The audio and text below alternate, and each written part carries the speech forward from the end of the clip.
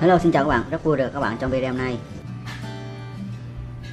Thì để nhận biết một chú chó có mang thai hay không á Thì điều đầu tiên là các bạn hãy nhìn vào nấm vú của bé. Nấm vú của những chú chó mang thai từ 35 ngày trở đi á Thì các bạn có thấy là nấm vú của bé sẽ to hơn bình thường một chút Và nó sẽ có màu hồng nhạt. Còn bình thường thì ờ, chưa tới 35 ngày thì sẽ rất khó phát hiện được Tại vì lúc đó vú của bé cũng bình thường Chưa có lớn và cũng không có màu hồng nhạt. Nó sẽ có màu nâu hoặc là màu ờ, giống như màu da của bụng của bé như thế này.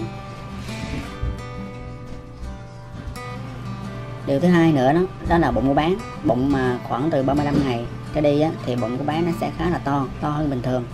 À, và mắt thường các bạn có thể nhìn thấy được. Mà nhiều khi giúp các bạn có thể rờ vào lấy tay rờ vào bụng của bé thì sẽ thấy cho con động đậy. Bụng của bé mà to mà thể hiện rõ ràng nhất đó, đó là từ ngày 40 trở đi thì lúc đó thì bụng của bé nó khá là to. Tại vì lúc đó thai nhi cũng bắt đầu hình thành.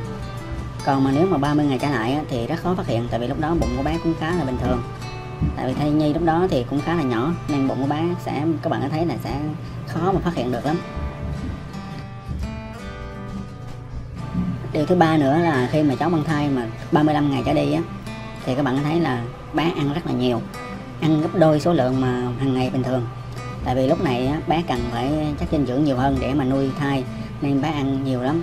Các bạn có thấy là sáng ăn trưa ăn chiều ăn các bạn cho mà là nó ăn rất là nhiều để mà bé có đủ chất dinh dưỡng nuôi và các bạn cũng nên cho ăn. Tại vì như thế thì nó sẽ tốt cho chó mẹ cũng như chó con, sự hình thành của chó con. Cái điều thứ tư nữa là, đây các bạn thấy vú của bé rất là hồng và nó sẽ để rộ, lộ ra luôn. Bình thường thì nó sẽ túm lại. Điều thứ tư nữa là bé rất là uể oải và thậm chí là lười đi. Các bạn thấy là từ nãy giờ mình vuốt vuốt và nó nằm im cục mà nó ít vận động lắm. Bình thường thì bé sẽ chạy nhảy, vui chơi còn mà khi mà mang thai thì bé sẽ ít cái di chuyển lười di chuyển và rất là mệt mỏi. Các bạn có thấy là nó, nó nằm từ nãy giờ luôn đó. Cái điều thứ năm nữa đó, đó là khi mà cháu mang thai á, thì các bạn có thể là đem đi siêu âm. Tại vì ờ, hiện nay thì các bạn có thể biết được là siêu âm rất là tốt. Tốt khi mà chó các bạn đã từ 35 mang thai từ 35 ngày trở đi thì các bạn nên đi siêu âm. Còn nếu mà trong khoảng mà 30 ngày thì cũng chưa nên đi siêu âm tại vì nếu mình siêu âm trong khoảng 30 ngày thì thai nhi nó sẽ nhiều khi nó sẽ ảnh hưởng. Nên các bạn mà nếu muốn mà siêu âm á, thì 35 ngày trở đi. Và như thế thì sẽ rất là tốt cho chó. Cũng như là chúng ta biết được chó mình có mang thai hay không. Đó là năm cách mà các bạn có thể nhận biết được cho chó của mình có mang thai hay không. Ok thì cảm ơn các bạn đã theo dõi video này của mình.